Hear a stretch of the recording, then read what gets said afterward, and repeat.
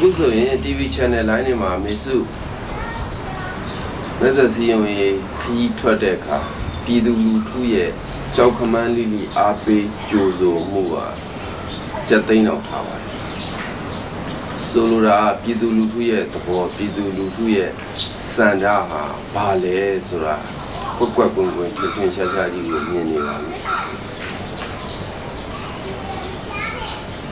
ရှင်းရှင်းပြောရမယ်ဆိုရင်ရွေးကောက်ပွဲတောင်လုပ်စရာမလိုဘူးပြည်သူလူထုရဲ့စံဓာတ်အရန်ကိုတည်တာထင်ရှားနေအဲ့တော့ကျွန်တော်တို့နံပါတ်1ပြည်သူတွေကိုပြောချင်တာကကိုရီးယားဆန္ဒအစစ်မှန်ဘာဆိုတာကိုယ့်ကိုယ်ကိုတည်ဆုံးတယ်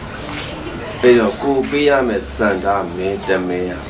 ဘယ်ကိုသွားတဲ့နဲ့ဘသူလက်ထဲကိုရောက်တဲ့တယ်ဆိုတာလေပြည်သူမျိုးချင်းသိပြီးသားအဲ့ဒီသိတဲ့အတိုင်းအဲ့ဒီအတိတရားကိုယုံကြည်ချက်ရှိရှိအဲ့ဒီအတိုင်းဖြစ်အောင်လုပ်ဖို့ပဲလုပ်တယ်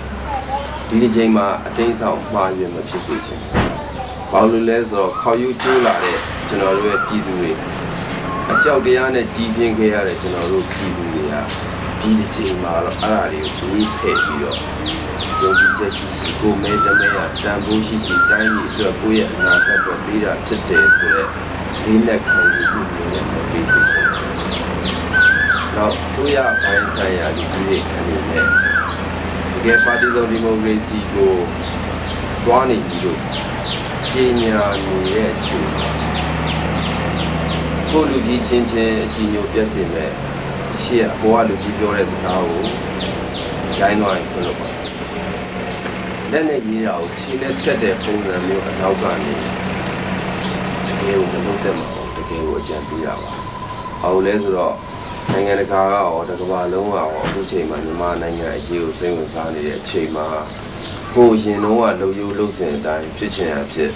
ဆိုတာမျိုးလုပ်လို့မရဘူး။နိုင်ငံတကာစံနဲ့ရှင်ပြီးတော့ကြည့်ရမှာဖြစ်ပါတယ်။ဒါတော့ကိုသမဂကြီးပြောတဲ့လက်နဲ့ရေးတဲ့စကားကိုတော့တော့ရှင်းလက်ဖြစ်တဲ့ပုံစံမျိုးအဲ့ဒါမျိုးတွေကဒီချိန်မှာလုံးဝကိုရှောင်ရှားပြီးတော့တတိထားမယ်ကိစ္စမျိုးတွေပါပဲ။နောက်ပြီးတော့ အမှတ်သုံးချက်ပြည်သူလူထုကိုကိုစားပြုမဲ့ဒီကောက်ပွဲအမှန်လောင်းဒီအတွက်ပြောချင်တာပါလေကိုတာဝန်ယူထားတဲ့ကိုနာမည်ခံထားတဲ့ပါတီတစ်ခုရဲ့မူဝါဒပါလဲဆိုတော့ကိုကိုယ်တိုင်ကြည်ကြည်နဲ့နဲ့ပြီးဖို့ဆိုပါတယ်မဲတနေမဲဆန္ဒနဲ့တခုမှရွေးချယ်ခံမဲ့အမှန်လောင်းချက်အဲ့ဒီနောက်ကပါတီရဲ့မူဝါဒနဲ့တရားရပိုကြီးကြည့်ပါတယ် အဲ့တော့ကိုပြည်သူလူထုကိုကိုစားပြီးနဲ့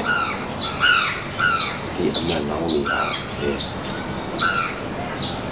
ရေတစ်စက်ချင်းကနေစုယူတစ်ခွက်ရေတစ်ဖလားတန်ဟုတ်တရားကြီးဖြစ်အောင်သွားမယ်ရည်စက်တွေဖြစ်တယ်ဆိုတော့ကိုကိုခိုင်ထားဖို့လုပ်တာလေအဲကျွန်တော်ပြောတာ